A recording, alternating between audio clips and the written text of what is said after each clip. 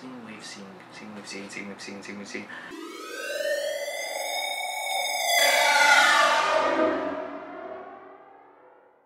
What's good, everybody, and welcome back to Comic Sessions. I'm your host, Shawn Thomson, and we're going to talk about some comics. We're going to have a big topic. We're going to have a very special guest. We're going to talk about next week. Um, housekeeping for this week. I've been streaming on Twitch and stuff like that a whole bunch. Um, you can check me out at twitch.tv slash snowiestmonster. Also, right off the bat, don't forget to subscribe to this channel if you want to see more comic sessions, want to find out more about the comic industry, what's going on in the scene, what's new in comics, and all that jazz. Um, so, I think that's about it. Without further ado, let's get into what's new this week.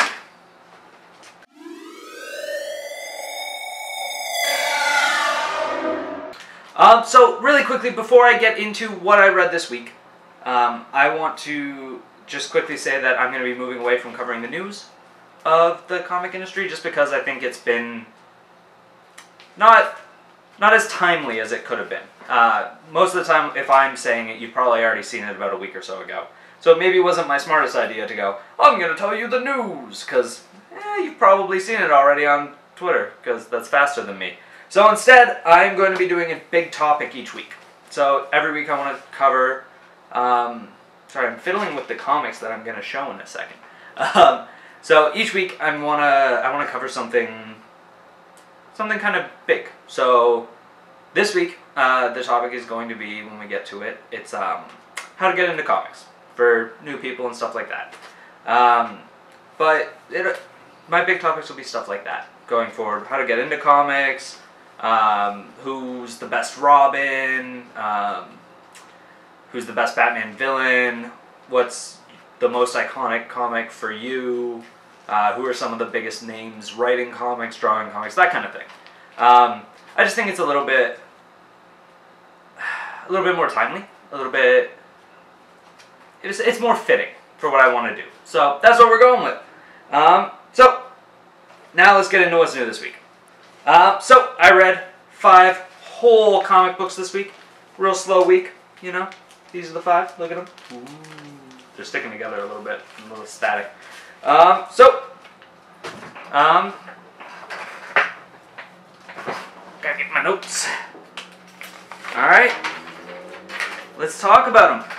Uh, we'll start with DC Comics because there's only there's three of them. Um, so this week from DC, I read Batman's Grave number one. I read Detective Comics number 1013, and I read Flash number 80. Um, so, might as well start with Flash number 80 because that is the last one I said. So, its picture will be the most recent. Uh, so, uh, basically, the uh, Black Flash, which is the like embodiment of death, the Black Racer, that guy, uh, he's trying to kill off all the other forces that spawned out of that Speed Force Storm stuff a while ago. Blah, blah, blah.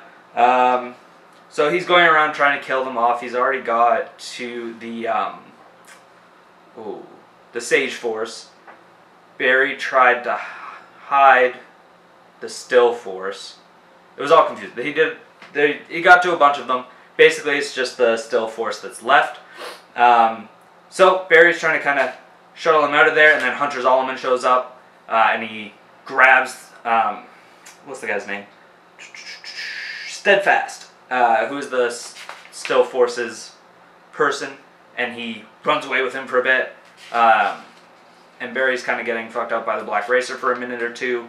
Uh, and then Barry scoops up Iris and they run away.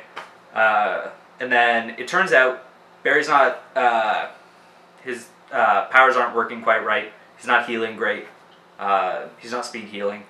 Um, which is kind of concerning because the Flash's whole thing is he's fast. So if he can't speed heal and he can't run quite as fast, then he's kind of fucked. Um, so uh, Wally and so Wally stumbles upon these scary looking versions of the rogues in the next couple panels, which is a little odd. I wonder what's going on with them kind of thing. What are they up to? They're skulking around. They look like jacked out and Halloweeny. Very timely for October. Um, and they're kind of like, do we jump in and try and stop them from doing whatever they're doing, or do we wait for the Flash? Uh, and that's where we lead their story. That's literally all that they're in there. It's just that little snippet. Um, and then we cut back to Barry and Iris, and they're looking into Hunter's backstory a little bit, and they're like, he, his dad was a murderer, then he became a detective and private eye, and blah blah blah. Uh, so they're looking into it, that, and then they find uh, the gun that killed his mentor, and they're like, there's two sets of fingerprints on it. The first set was this guy's, and the second was, and then they don't say who it was. Um, but next we get Wally, uh, or not Wally. Oh man. Uh, we get sorry, I keep thinking of my favorite Flash. We get Barry um, catching up to uh, Hunter. Uh, somehow they kind of find him, track him down a little bit, um, and Hunter and Barry are kind of fighting a little bit, and then Hunter's like, I already have the Strength Force and the Sage Force, and I'm already faster than you. You stand no chance. He's beating up Barry and stuff like that. Uh, and this is when Steadfast decides to finally use his force, the Still Force, which is the polar opposite of the Speed Force. Um, so he's trying to hold Hunter's Zolomon there, but uh, he's just too fast, and he zooms right up to him, punches him right in the, or he doesn't punch him, but he like grabs him and steals the Sage Force from him, uh, and then he's like, "I'm not afraid of you. Come get me, Death." And then you see the Black Racer coming out of nowhere, coming to kill him, uh, and the very last panel is Barry getting impaled by the Black Racer's hands. I'll put up a picture of it because it's fucking cool. Um, it was a cool issue. Uh, a lot of lot of good stuff happened in it. Um, yeah, I don't have too too much to say. I like the art in it. Story was good. It has been good. Um, it's been cool seeing the other forces kind of fleshed out a little bit. Uh, I love seeing the Black Racer because it's just like a zombie Flash in a black costume. It looks cool as shit. Um, but yeah, that is basically it for Flash 80. Now we're going to talk about Detective Comics number 1013. Um, basically, this one is all about Mr. Freeze trying to bring back Nora again, because obviously that's all Mr. Freeze does. Um, so we start with Batman beating up a guy, as he always does, going, "Where is she? Who took her? Where?" That kind of thing. Very um, very Dark Knight y. Um, then we cut that he beats up the guy. The guy eventually gives up uh, what's going on, and then we cut to Freeze, who's apparently using women as experiments for how he can wake up Nora. They're in tubes, and he's injecting them with stuff and trying to wake them up. Blah blah blah. Uh, then Batman busts in in a dope as fuck bat suit. It's all black and red, very Batman Beyondy, but you can tell it's kind of like a heat suit so that it'll warm up eventually. That comes in handy later. Um, so they start. He starts trying to fight with Freeze, but Freeze like calls in the troops, and uh, these zombie snow people come out of nowhere, and zombie animals, and they're fighting Batman. Then eventually, Batman falls through the ice and underwater somehow, um, and he's sinking and sinking, and then he gets encapsulated into this little ice thing, and you think it's over for the Cape Crusader. But of course it's not, because comic books. Um, so Batman uses his heat suit that I said would come in handy later uh, to heat up the ice around him. He busts out, and he comes right out of the block of ice he was encased in, and then busts out through the uh, the surface ice. Uh, he's back on land, back in the lab. Um, but Freeze is gone. So uh, Batman and Alfred meet up at the lab, and it, Alfred, to hide his identity, is wearing a flash mask. It's very funny. Batman goes, all the all the masks in the cave, and that's the one you found first. Um, I had a chuckle, made me laugh a lot. Um, and then we cut to Freeze again, off in a different location, just with Nora, and he injects her. he's like, "Please, blah blah blah," They're doing like a "please wake up, please work" kind of thing. Uh, and then she wakes up, fucking Nor- Freeze's whole reason for becoming a villain has just been nullified. She woke up. Like he can go back to like he can't go back to having a normal life, but like he could go on the run again and maybe something could work. Um, so yeah, it was a really cool setup issue. I really dug it. Again, art's cool. Um, I don't have much else to say. It was a cool issue. Um, I dug it. now we'll get into my favorite book of the week. Through both companies, um, my favorite book of the week that I picked up. Unfortunately, I wasn't able to pick up the Savage Shores number five. I totally forgot about it uh, because it went on hay or went on a break for a couple months and stuff like that. There was issues, but we'll get to my favorite book of the week, and that is Batman's Grave number one. Uh, this is by Warren Ellis and Hitch. Um, it was fucking cool. It was. It was a cool detective story. So, basically, it starts with Batman just on patrol. He's going around the city. He's beating up some criminals and stuff like that, protecting the citizens of Gotham.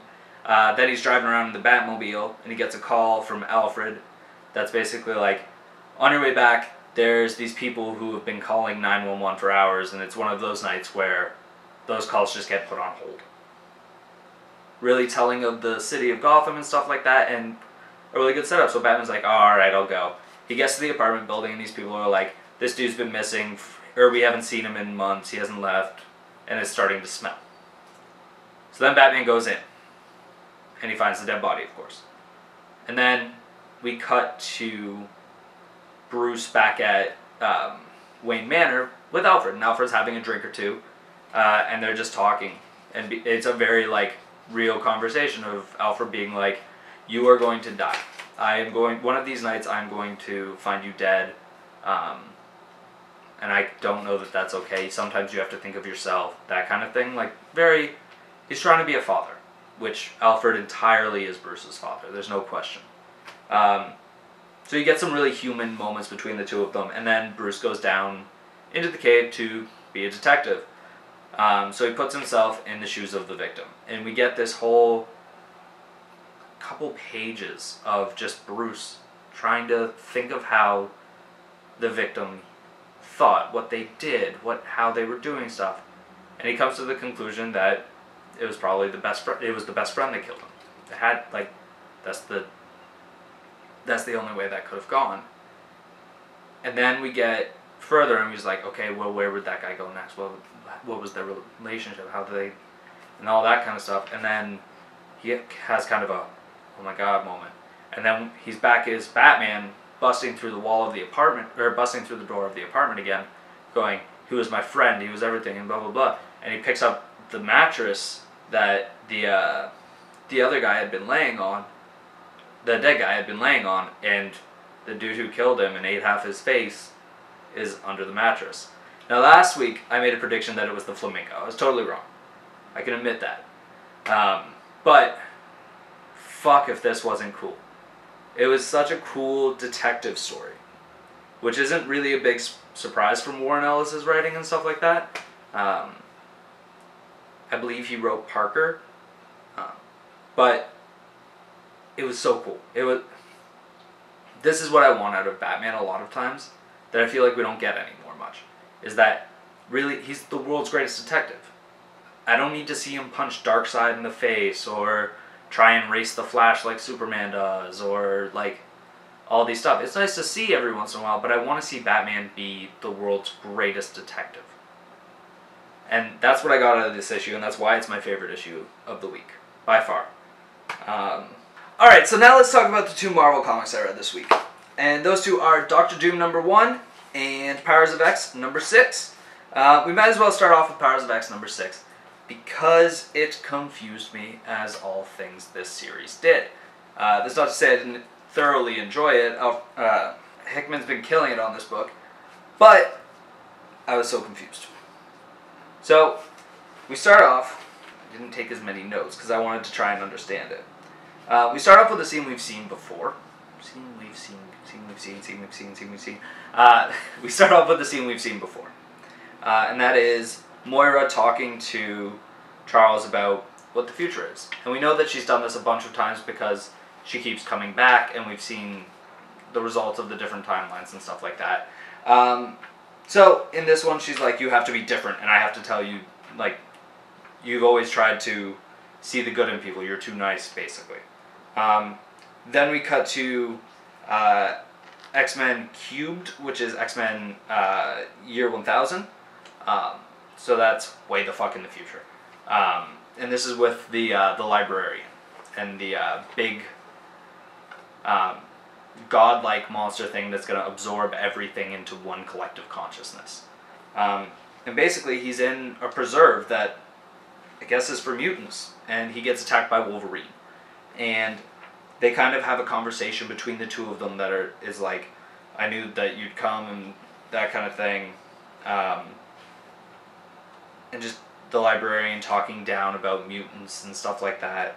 Uh, and then Moira comes out of the woods and she joins the conversation as well. And it's the librarian saying, I'm having second thoughts, essentially. It's him being like, well, this is what we've wanted for so long, but now I'm, I'm second guessing. If I'm not a physical being anymore, am I really anything almost? That's kind of the conversation he's having. Um, and he wants to see like what's gonna happen and stuff like that. So they're just talking and yelling and arguing and stuff like that.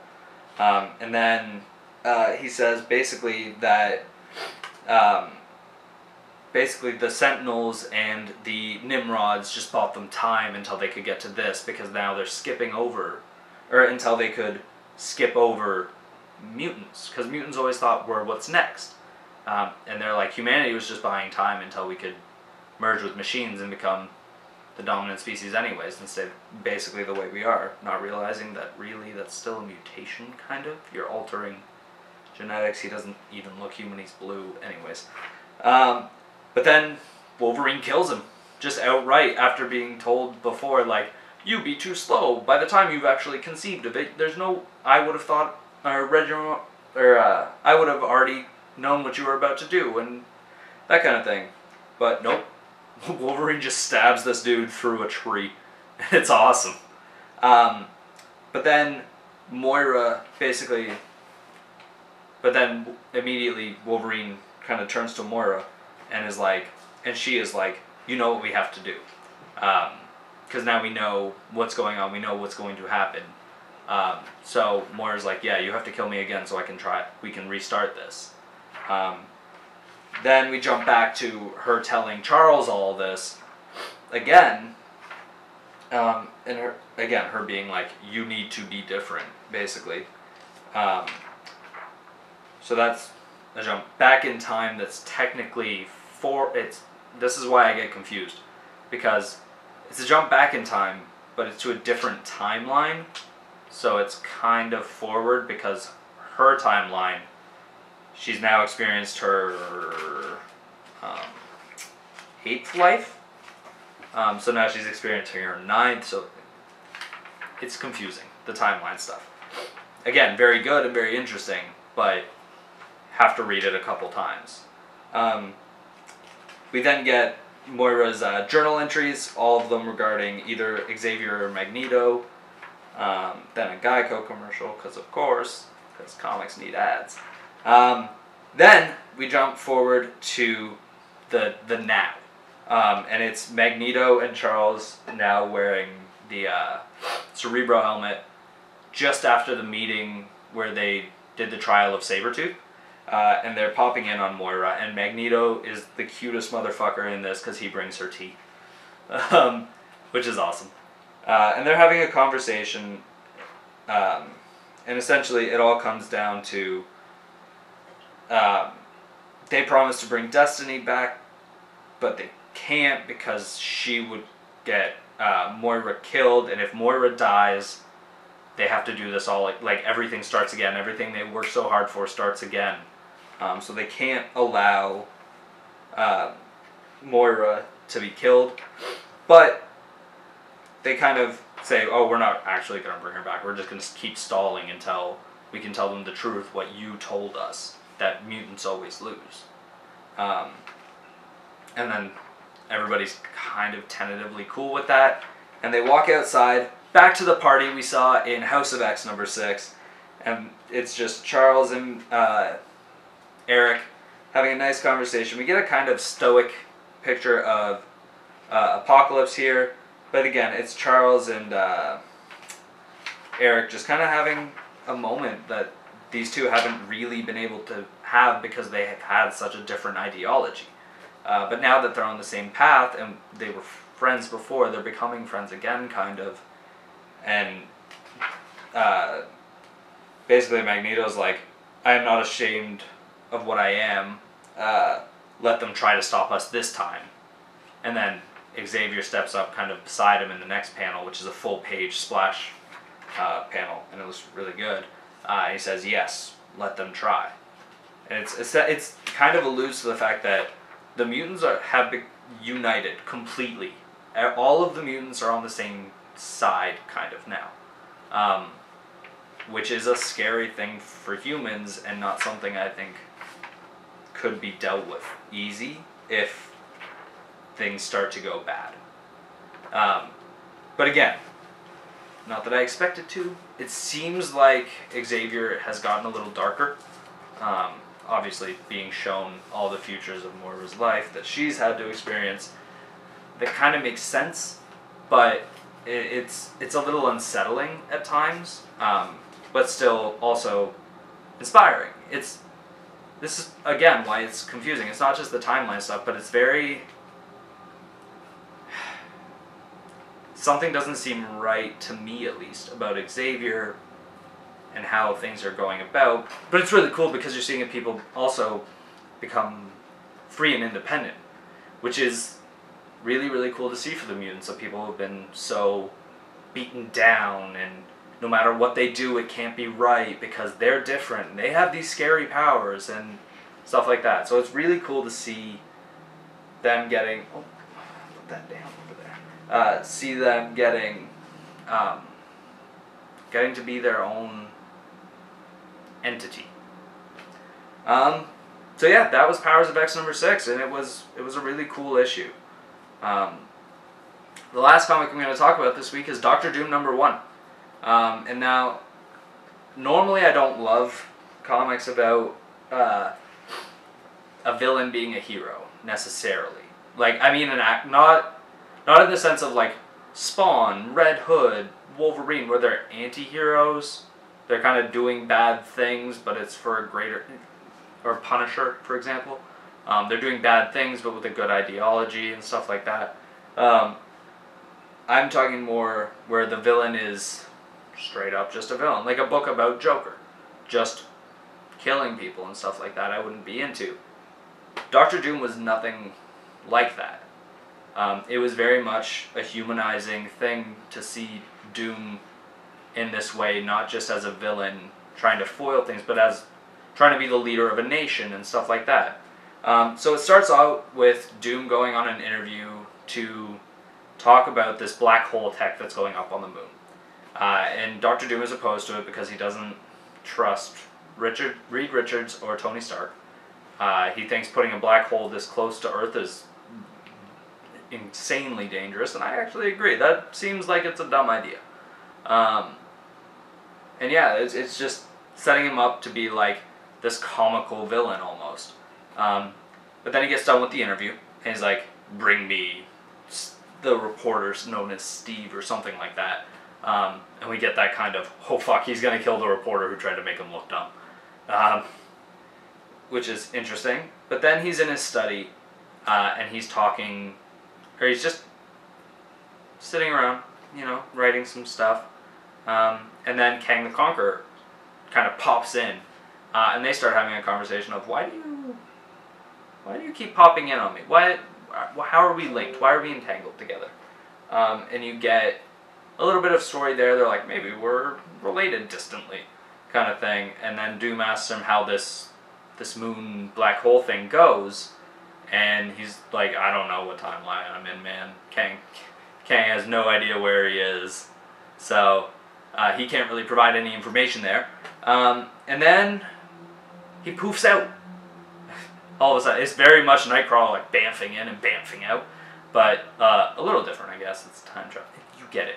Um, but then Doctor Doom's on his own for a little bit. Then he sees a TV report of apparent Latvian troops have destroyed this moon-based thing. Um, apparent Latvian troops have destroyed this moon-based thing um, and killed like 3,000 people.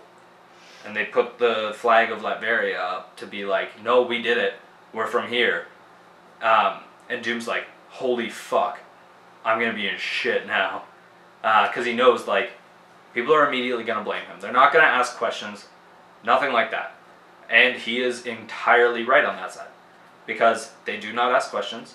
It is immediately the UN, uh, the World Security Council, um, the Avengers, all of these people calling for Doom's arrest immediately. Um, and then we get two like bounty hunter types that uh, break in and try and fight with Doom, and he beats the crap out of them. And then uh, he's kind of just like, no, I'm just so you guys know, I am going to surrender. Um, yeah, it was very, very interesting to see such a human side of Doom. Because um, throughout the issue, he's just like, it's it's kind of a long issue. I summarized it very quickly there, but he's like talking to the people in his nation, and he knows all the people who work for him, and he's asking about their families and stuff like that. And it's very humanizing. Um, but again, Doom fights off those uh, those people, but he's also getting some kind of. Uh, then all the helicopters show up. Sorry, uh, and we get these two little thought bubbles on the last page that are just the world is dot dot dot, and then dot dot dot leading in not mine, and it's again it's very much. It, it's Doom always works for the best interests of himself and his country. Um, and blowing up the black hole thing, though ideally may have aligned with him, uh, wasn't.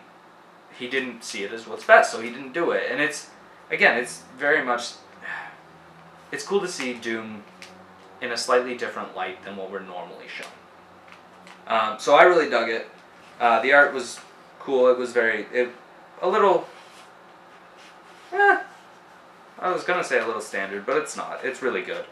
Um, and yeah, that was Doctor Doom number one, and that's all the comics I read this week.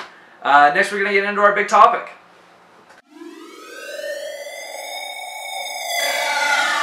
All right, so for this week's big topic, I thought it'd be good to talk about how do you get into comics. There's so many of them; it can be so daunting at times. Um, so how the heck do you start? So I decided to bring on Kristen. Uh, this is my girlfriend. Hi. Um, she just recently started reading a couple comics. She's very new to it. Um, but I thought it would be good to have her on to kind of ask whatever questions she has about how you get into comics and stuff like that and how you start reading them. Like where you, like Detective Comics, for example, I was just talking about it and it's at issue 1013. That's got to seem crazy to anyone on the outside of comics, right? Like, Totally. Yeah. And like for me that is the biggest reason why I never even attempted to dabble in comics if you will because it's like, oh, this issue is on number 1000. Okay, well, as being someone who loves reading novels and really in-depth stories, Do I go I need to know the whole story. one? I can't just start halfway through because then I'm gonna feel like I'm missing so much information that I want to know. So it's like for me to get into it, I have to decide A, am I going to commit the time to jumping all the way back, trying to And even find right? Like, issue one, and then, okay, it seems really intimidating being like, cool, if I want to read about If you want to I'm gonna say Spider-Man's things origin, and you're not gonna I'm not gonna get it right, but say I wanna read Batman. Okay, I'm committing to thousands of dollars potentially by going back to issue one and wanting to get all the way through. There are so many subplots or sub storylines and there's five billion different Spider-Man comic universes and Yeah, we talked about that on like episode one. We were like, or I was talking about it, and I was like, there's literally like eight or nine Spider-Man titles that are out right now. yeah. Right? It's definitely a, it's tricky, and it's hard to figure out where the heck you start. Oops. Damn it, Colleen! All right. Where the fuck were we? I don't know, I'm so sorry. I'm new to this. Um, oh, we were just talking, and there's like what eight or nine different Spider-Man titles that are out right now. How do you pick Yeah. the right one? And like Yeah. stuff like that. It's it. I totally get that. Getting into comics can be super super daunting. So, uh, I'm gonna start just kind of saying what I would tell people when they'd come into the comic book store when I was working there, um, and they were trying to get into comics. Um, I'm gonna kind of take you guys through what I would tell them, and hopefully make it easier for you. I know a lot of people are trying to get into comics because of all the Marvel movies and stuff that are coming out. They want to see the origins, but then Google something and you find out that Spider-Man has six different origins. That which one is right, which one is current, that kind of thing. Okay, so say I was a customer. We're at the comic book store. You work there. I walk in and I say, "Hi, I've never been in a comic book store before. This is my first time ever. I've never read a comic book. I want to give it a try." What do you say to that? Where do I start? Where do you recommend? The first thing you gotta find out is what kind of comics or storylines you want to read. Yeah. Be it superheroes, horror, sci-fi, fantasy, uh, slice of life, whatever. Okay. You have to know it, basically whatever movie genre you like. There is a comic for, or hundreds. It's like books. So if you kind of know where you're going, it, it really helps uh, anybody working at a comic book store to kind of point you in the right direction. Okay. Um, so if you come in, say you, I know you, you like fantasy, Yeah. right? That's your kind of jam. Yeah. Um, most comic book stores will have sections like a Chapters or an Indigo that are like, here's the fantasy books, here's the young adult. Like they'll they'll be sectioned up. Yeah. So it's a little easier to find your way that way. Always ask for recommendations, of course, Mm-hmm. because generally people who work in comic book stores are nicer than you'd think. Um, they're not terrifying nerds slash nerds who are terrified to speak to you for the most part. I mean, Well, speaking as like a a semi outsider, I guess, to the comic book world, I think a lot of people like me would maybe feel uncomfortable or awkward walking into a comic book store just because there is so much stigma out there about how there's such a tight knit community. And it's like 100%. if you don't know what you're talking about you're gonna be like made fun of or like not welcomed in. And I feel like it can be like with joining any new team or activity I Yeah. feel like it can be so daunting just walking in It totally can. and- And, I feel like nerds and geeks get a really bad reputation for it sometimes because of the angry video gamer, right? That that's a pretty like or angry nerd, right? The, the people who are gatekeeping and trying to or seem like they're trying to be like this is for us. You don't know what you're talking about. Oh, you don't read this. You're not a real fan. And that's such a small percentage of the population. yeah like that's Like, not the norm that's no, not that's the vocal minority talking. Don't listen to them. They're trash trolls on Reddit and stuff like that. Okay. Nothing they say matters. Um, but yeah, most most people who read comics are generally pretty cool. Um, but it's say you were looking for a fantasy book. Uh, if you're just starting out, I recommend trade paperbacks. Um, sounds like a really fancy name, but literally all it is is something like this. This is a copy of Batman Hush. Um, and all a trade paperback is, is the entirety of a storyline from uh, a bunch of single issues bound into one book. It's a graphic novel. Graphic novel, trade paperback, they're all the same thing. They're just bound single issues. So it's a little less daunting and it catches you up a little faster, a little cheaper. You don't have to try and track down issue 1 to 10 of something that you might not be able to find as easy. mm-hmm. Generally, trade paperbacks are reprinted fairly frequently. Um, it's a lot easier to find a complete storyline. You can typically find the start of something a lot easier in trade form. But if you're, Yeah. yeah, it trades are generally the way to go when you start off. Well, the first one I ever read was a trade. Yeah. Like that. Um, You can show, I'll show. I'll show. I brought it. Fables. Um, I loved this one. Shawn recommended it to me as my first. I mean, we We live together. We spend ninety percent of our time together, and ninety percent of his time is spent reading comics or playing video games, etc. So Yeah. I was like, okay, let me give it a try. Just I was curious. I want to know. You you love it so much, and I'd like to be able to actually hold a decent conversation when uh, you want to bring that topic up. So I thought I'd give it a try, and this was actually such a good recommendation as a Yeah. first one. Well, you were reading or you were watching Once Upon a Time. That's Yeah. fine. That's the other thing. Make sure you tell if you're asking for a recommendation in a comic book store or trying to Google like what you should start off reading, stuff like that. Looking for iconic storylines isn't necessarily the best way to go Yeah. because typically they'll either be really deep in the comic already and they're you you're kind of expected to know some of the lore and this and that and the next thing or um, they're just a little trickier the blocking's harder and stuff like Mhm. that so i find at least if somebody tells me like oh i like star wars and like i don't know battlestar galactica and this or thing, I like kind scary of- things, or I like Yeah. funny things, Or tell- or give them give somebody something to work with give them some Yeah. anecdotal i'm watching this show and really digging it is there anything kind of like it in comics that's why once upon a time is very similar to fables you get these fairy tale people encroaching on the real world and Mhm. how, to, how would that uh, interaction go and stuff like that so that's where uh, i recommend something like that um,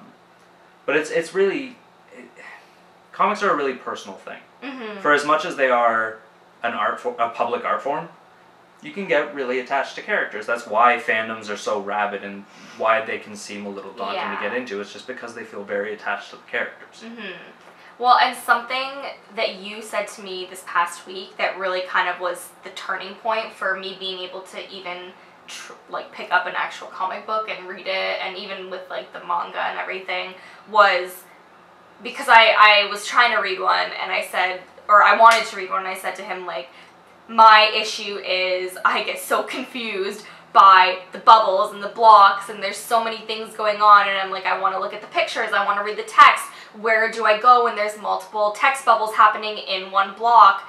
And when you explain it to me like it's a movie, like parts are flashbacks, parts are inner thoughts, parts are the actual Yeah. speech that the character is saying, that was like the switch flipped on for me. That was such a a good way to describe it and made it so much easier for me to start to then recognize oh this person's talking but then it's showing me also what their inner thoughts are because my biggest complaint or i guess the biggest barrier stand that was standing in my way between even trying any comic related books was the fact that as someone who loves reading novels i i love how precisely in depth and detailed and all the narrative and background story that you get from a novel but when you talked about it think of it like a movie Yeah. then it made me realize you can actually get more in depth with Exactly. them as well it's not just a surface The, level the easiest way to think about comics is a single issue is an episode of a TV show.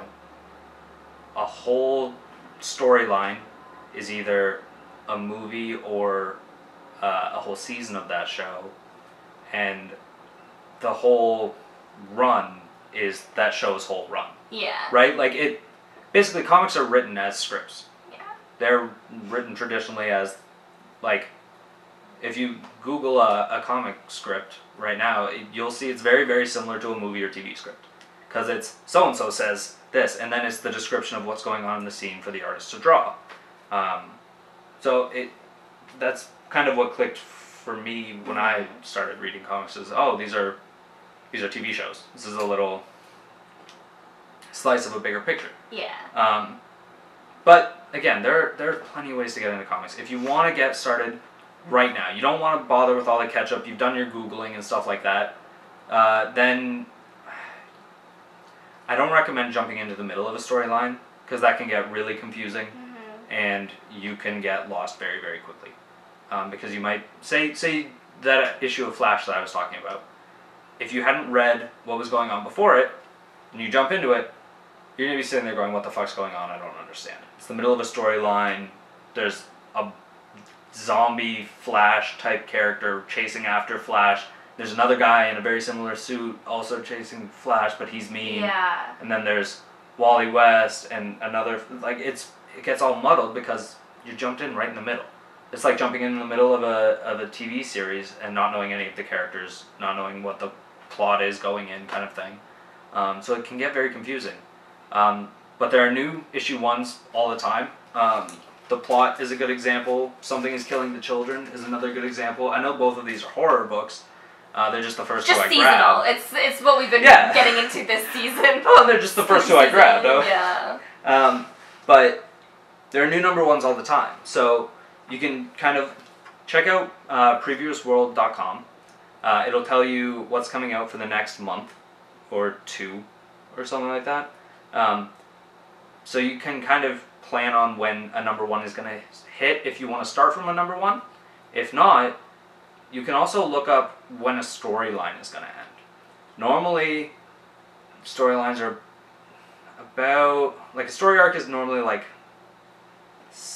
between three and ten issues long. I want to say, ten is pretty long. Twelve is like the max a story typically is.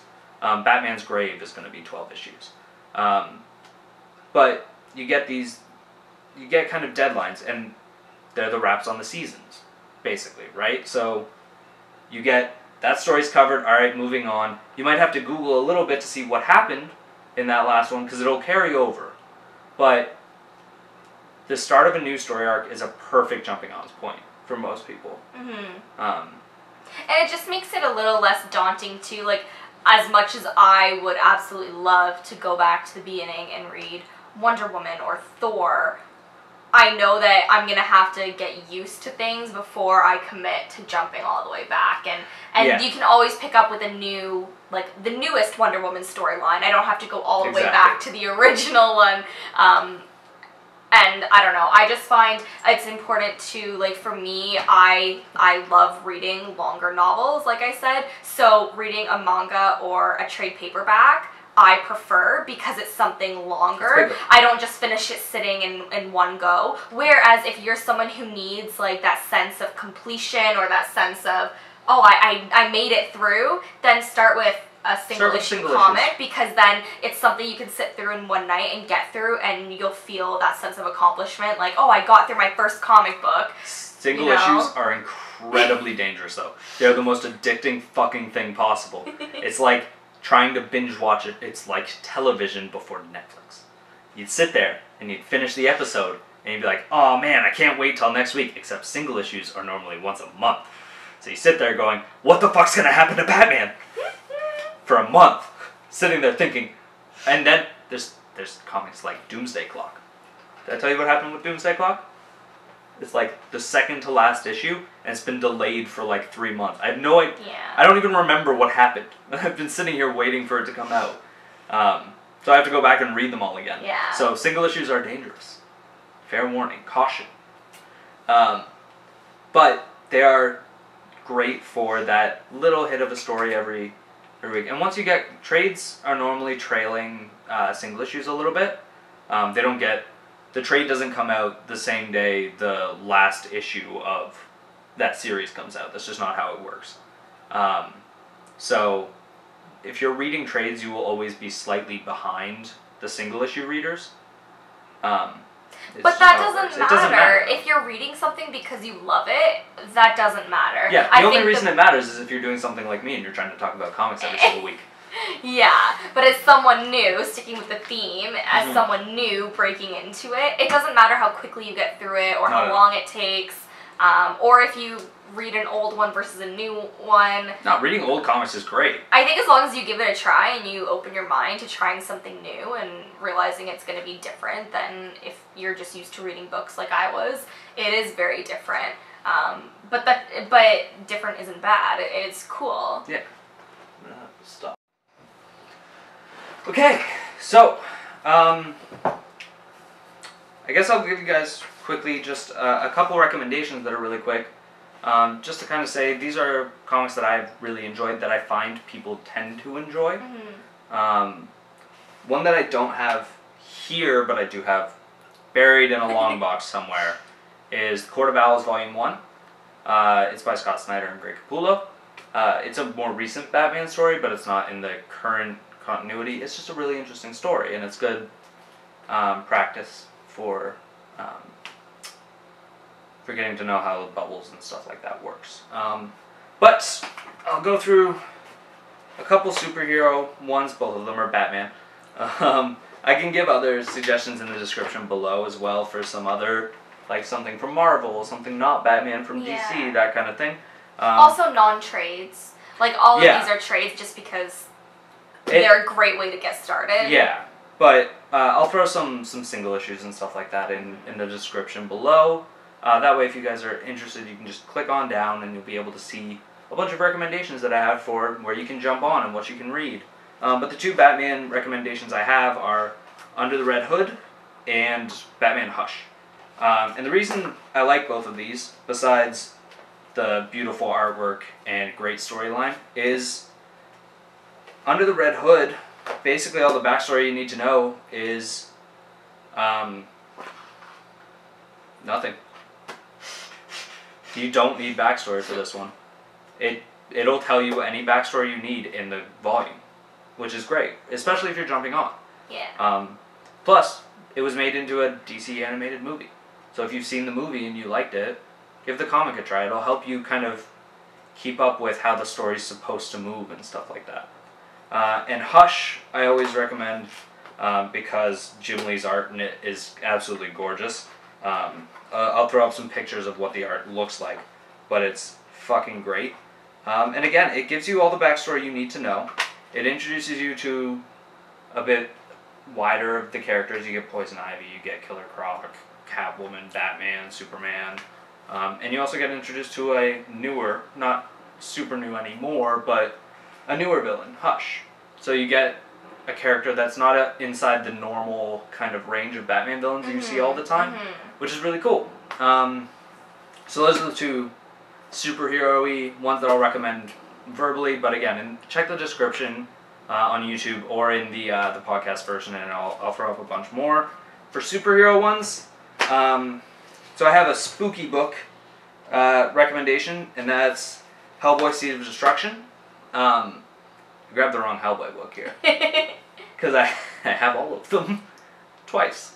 Um, so, uh, but Hellboy: Seeds of Destruction is really cool because Mike Mignola's art is is really it's really interesting. It's very um. You get these really really dark blacks and then these splashes of very vibrant crimson and greens and blues and stuff like that. It's very interesting the art really draws me in and it's a different art style than you typically think of when you think of comics. Most people think of comics and they think like dude who's shaped like a triangle and like there's you have a most people have a judgment in their head. I know I do. Like Mhm. if someone says comic book art, I, I immediately picture something. Um, so this gives you a bit of a different perspective and shows you that comics can go a really, really different direction.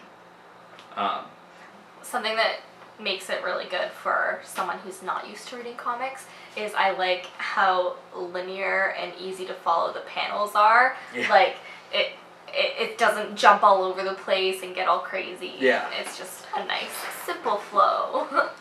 um, another spooky one that's really good, but a really weird art style. So I would say jump into it maybe after you've read a comic or two. Um, would be Wytches, which is uh, Wytches, Wytches. Um, I've done that a couple times on this episode already, like Simpsons.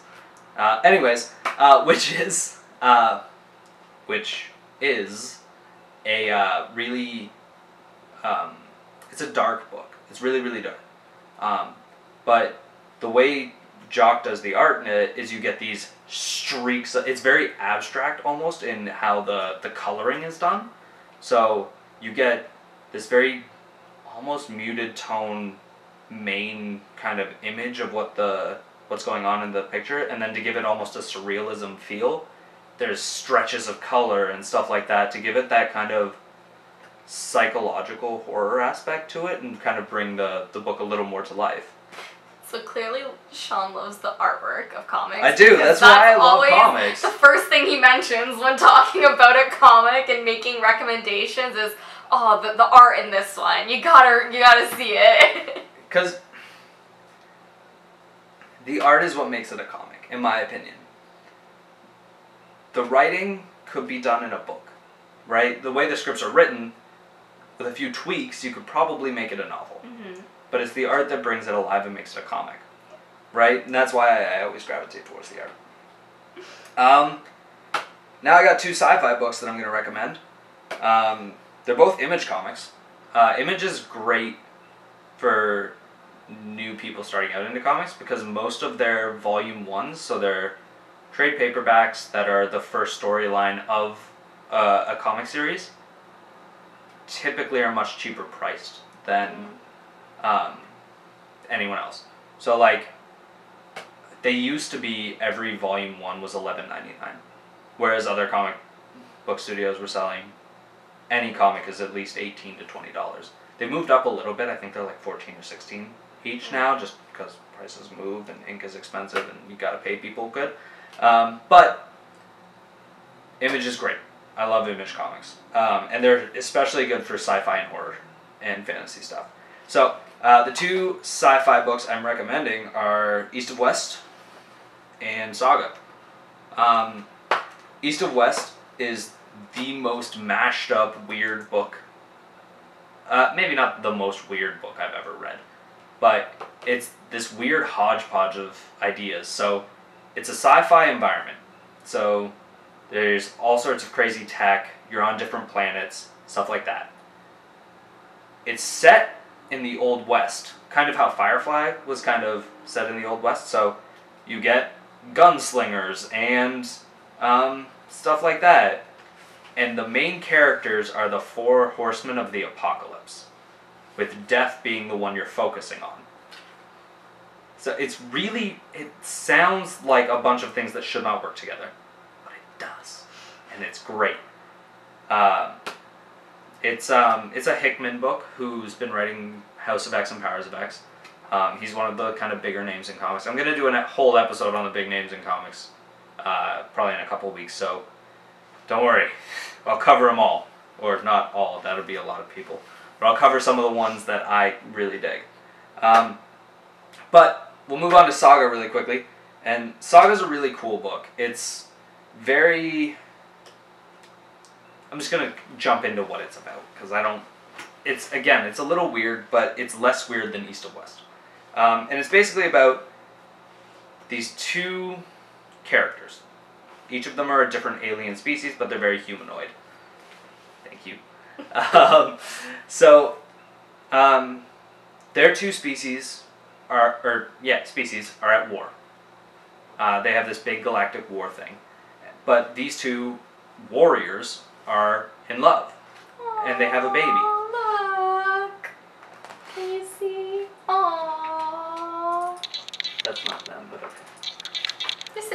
Oh, that that one is. I thought you were pointing at that one. No, these guys, not the yellow. These guys right here. Look at that. Aww. It's not gonna focus, but No, that's keep focusing on me. Um, but yeah, they're in love and they have a kid, and it's basically their story on the run because that makes them war criminals. So they have to go on the run, and it's them trying to raise their kid, and it's all written as like, I think it's all from the kid's perspective, if I recall correctly. So it's her retelling the story of her parents, kind of. oh, that's cool. Yeah, it's This is the next one I'm gonna try reading yeah, as a it's really really good. yeah. and it's one that everybody who reads falls in love with. Um, I'm kind of the exception, but that's because I like my spooky books more than I like my sci-fi Yeah. books. Um, it's not a knock. You're not a big Saga. slice of life person. It's not slice of life. but it's like sci-fi slice of life. It's not right? slice of life. It's war. Like they're Oh, on the okay, run, okay. kind of. It's it's a little like it's slice of lifey in that you get pictures of how their life is, but it is But it is not not. a slice of life. You're, you're not reading Archie, but you could read Archie because Archie is also a very good uh, comic right now um, from Archie Comics. Um, but yeah, those are just a couple recommendations. Again, I'll throw some more down in the description just so that you guys can check those out later. Um, but yeah, do you have any more questions about how to get started in comics or anything like that? Did we cover everything? We definitely didn't cover everything, but I think we talked about the main things. At least the main hurdles that I have always felt or thought of, Fair I enough. guess. I don't know. Um, but comment below or if you're listening to the podcast version uh, on social media. Tweet me Yeah. at Shawn underscore Thomson. Just tweet at me, and if you have questions, I'd be more than happy to help if I can. Mhm. Um, So yeah. All right. Thanks great. for having me. Yeah, thanks for coming. um, I'll just quickly go through what comics I'm, uh, what comics I'm reading next week, really quick. Bye, guys.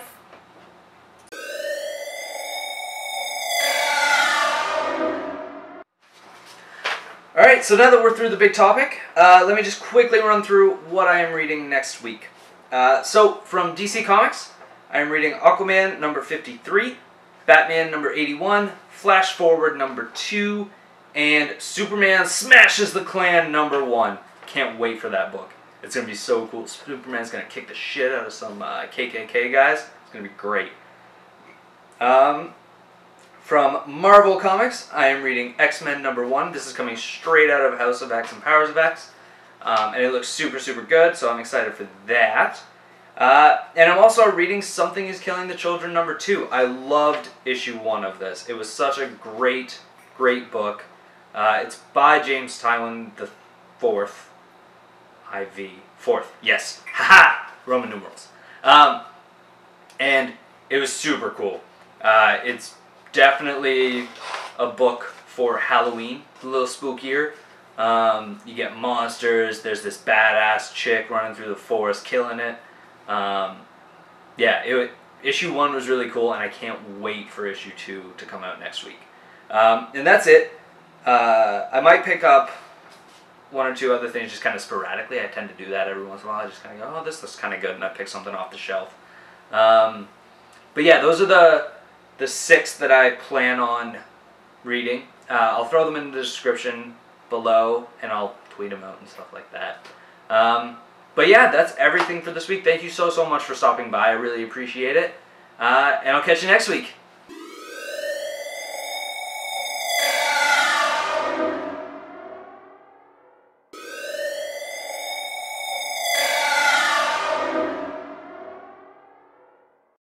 Thank you guys so much for watching. Don't forget to like, subscribe, and hit that notification bell if you want to see more from me, Shawn Thomson, talking about comics and stuff like that. And don't forget to leave a comment down below. Thanks so much.